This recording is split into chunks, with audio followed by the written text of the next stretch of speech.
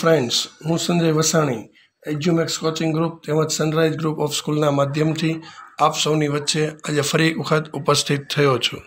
મિત્રો, આજનું સેશન શરૂ કરું એ પહેલાં આપ સૌનું હું હાર્દિક સ્વાગત કરું છું આપ સૌની આ યુટ્યુબની ચેનલની અંદર અને આપ સૌનો ખૂબ ખૂબ આભાર પણ વ્યક્ત કરું છું કે આપ ફરી એક વખત મારો વીડિયો લાઈવ નિહાળી રહ્યા છો.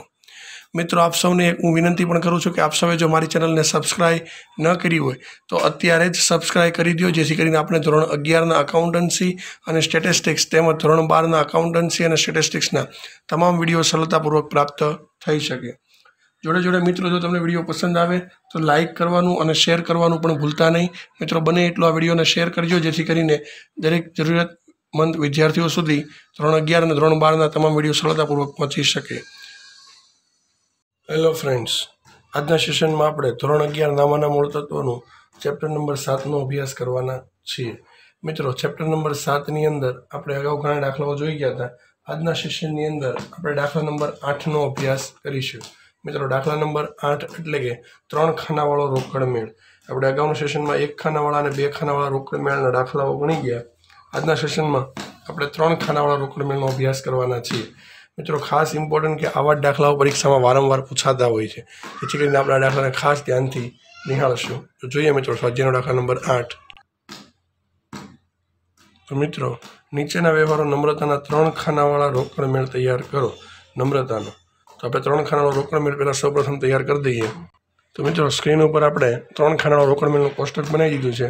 હવે આપણે સૌપ્રથમ એની ઉપર ટાઇટલ મારી અને બધી વિગતો લખી દઈએ.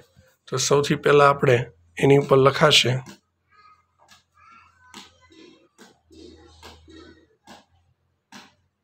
નમ્રતાનો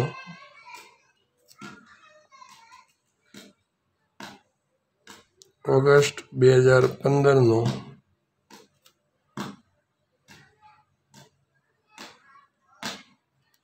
ત્રણ ખાનાવાળો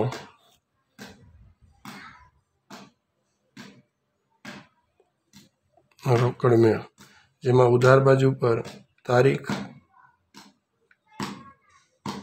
આઈ પાંચ નંબર, ખાપા, પહેલું કોલમ બનાવશું વટાવનું, બીજું કોલમ રોકડનું અને લાસ્ટ કોલમ બેંકનું. તારીખ, વ્યય વાઉચર નંબર ખાપા, વટાવ રૂપિયા, રોકડ રૂપિયા અને બેંક રૂપિયા. તો આ રીતે મિત્રો આપણે કોષ્ટકની અંદર વિગતો બધી લખી દીધી. હવે દાખલો થતા જઈએ અને અસર આપતા જઈએ. તો મિત્રો, સૌથી પહેલો વ્યવહાર, પંદર ઓગસ્ટ એક, શરૂઆતની રોકડ સિલક અને બેંક સિલક બંને સિલક છે એટલે બંને ઉધાર બાજુ પર લખાશે. તો લખીએ મિત્રો, તારીખમાં બે હજાર પંદર ઓગસ્ટ એક. બાકી આગળ લાવ્યા. વટાવમાં તો બાકી ન હોય. રોકડની બાકી સાત હજાર. બેંકની બાકી છ હજાર. આ રીતે આપણે દર્શાવીએ. હવે જોઈએ આગળ. રોકડ ખરીદી છ હજાર, રોકડ વેચાણ સાત હજાર. મિત્રો, રોકડ ખરીદી અને રોકડ વેચાણ છે. વેચાણ આપણું જમા બાજુ પર લખાશે. તો લખીએ નંબર ત્રણ. સોરી વેચાણ આપણું ઉધાર બાજુ પર લખાશે. તો લખીએ નંબર ત્રણ. વેચાણ ખાતે રોકડમાં છે સાત હજાર અને જમા બાજુ પર બે હજાર પંદર. ઓગસ્ટ ત્રણ. ખરીદ ખાતે લખી દઈએ. જે રોકડ ખરીદી કરી તેના છ હજાર રૂપિયા. ત્યારબાદ નંબર પાંચ, ત્રણ હજાર બેંકમાં ભર્યા. બેંકમાં ભરો એટલે બેંક લેનાર થાય, માટે આની આમ નોંધ થાય. બેંક ખાતે ઉધાર અને રોકડા જાય, રોકડ ખાતે જમા. તો બેંક ખાતે ઉધાર અને રોકડ ખાતે જમા. તો આ રીતની આપણે જખાવાળી અસર આપશું. બેંકમાં ભર્યા છે એટલે બેંક ખાતે ઉધાર થશે ત્રણ હજાર રૂપિયા. તો ઉધાર બાજુ પર બેંકના ખાનામાં લખી દઈએ ત્રણ હજાર અને જમા બાજુ પર રોકડના ખાનામાં લખી દઈએ ત્રણ હજાર. અહીંયા રોકડમાં લખ્યું છે, માટે અહીંયા તારીખ પાંચ અને અહીંયા લખશું બેંક ખાતે ખાપામાં જખ અને આ બાજુ પર એ તારીખ પાંચ અહીંયા રકમ બેંકમાં છે અહીંયા લખાશે, રોકડ ખાતે જખા. જમા ખર્ચી વ્યવહાર કહેવાય મિત્રો આપણો. તારીખ છ, ધંધામાં વધુ નાણાંની જરૂર હોવાથી પ્રભુ પાસેથી આઠ ટકાના વ્યાજે પાંચ હજારની લોન લીધી. લખીએ, લોન લઈએ તો રોકડા આવશે, આવે તો ઉધાર. તો ઉધાર બાજુ પર નંબર છ.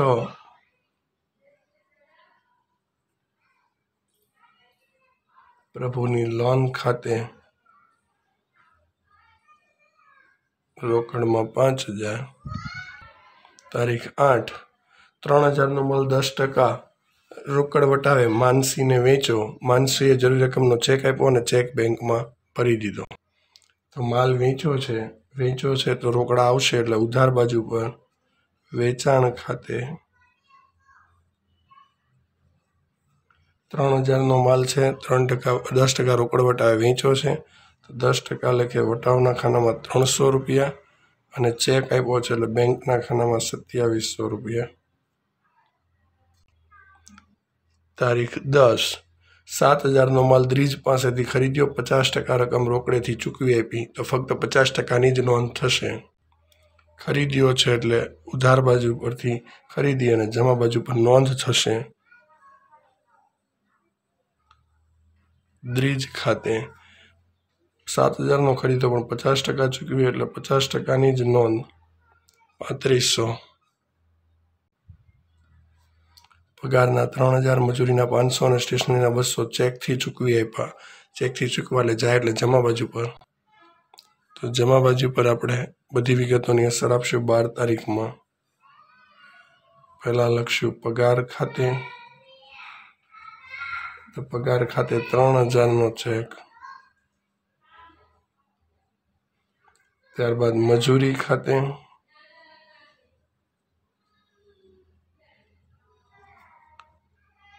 તો મજૂરી ખાતે પાંચસો અને સ્ટેશનરી ખર્ચ.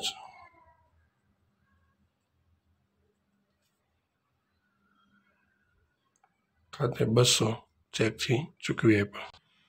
તારીખ ચૌદ. કમિશનના એક હજાર અને દલાલીના પાંચસો રોકડા મળ્યા. મળ્યા એટલે આપણે ઉધાર બાજુ પર. તારીખ ચૌદ.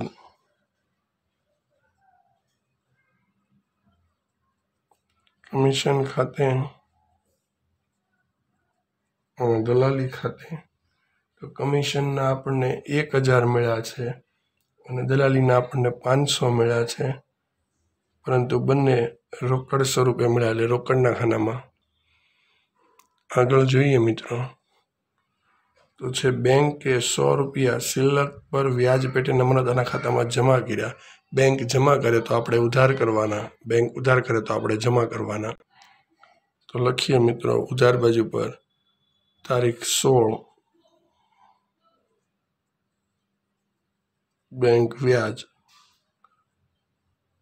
સો રૂપિયા. તારીખ સત્તર.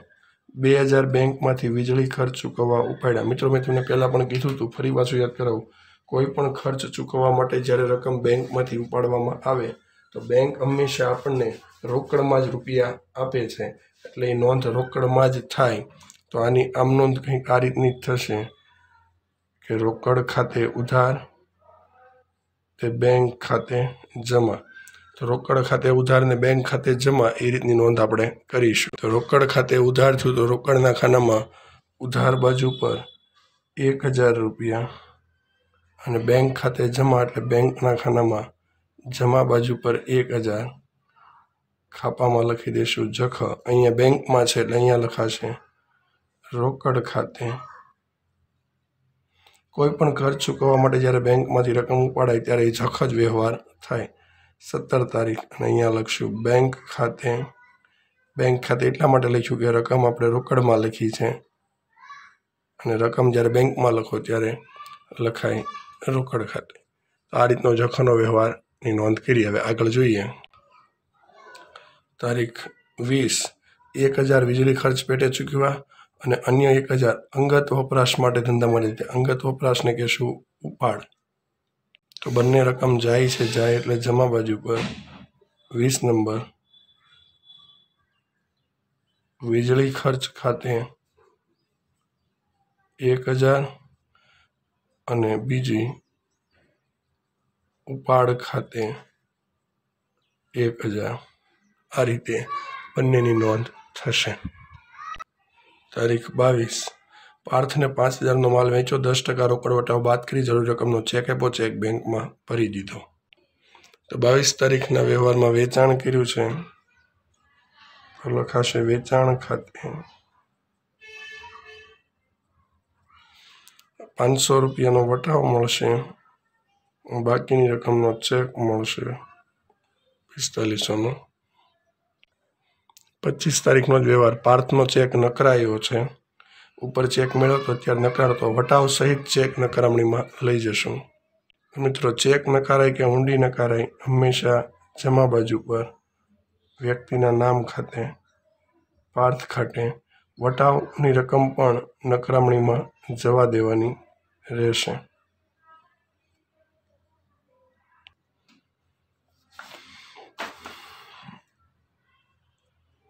જમા બાજુ પર આપણે લખીશું અઠ્યાવીસ તારીખ, બંસરી ખાતે.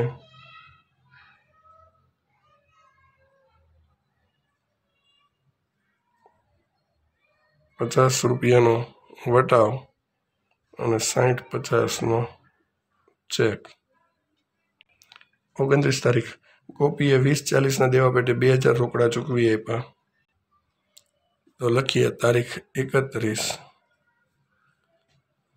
સોરી તારીખ ઓગણત્રીસ.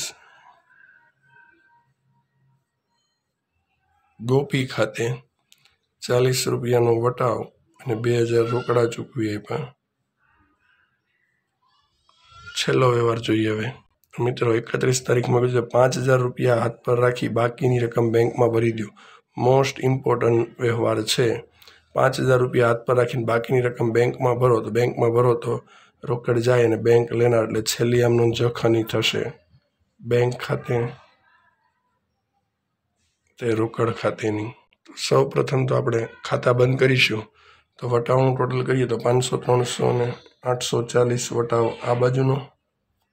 અને આ બાજુ પર પાંચસો ને પચાસનો વટાવ હવે મિત્રો સૌ પ્રથમ આમાં રોકડનું ખાતું બંધ કરવું પડશે, કારણ કે રોકડની બાકી હાથ પર રાખીને બાકીના બેંકમાં ભરવાના છે માટે. તો રોકડનું ખાતું બંધ કરીએ તો રોકડનું ટોટલ હંમેશા ઉધાર બાજુનું જ વધારે હોય. જે છે ચોવીસ હજાર પાંચસોનું. તો આ બાજુ પર પણ ચોવીસ હજાર પાંચસો. ચોવીસ પાંચસોમાંથી પાંચ હજાર રૂપિયા હાથ પર રાખવાના કીધા છે. તો પાંચ હજાર છેવટની બાકી. અને બાકીના રૂપિયા જે વધ્યા એ બેંકમાં ભરવાના.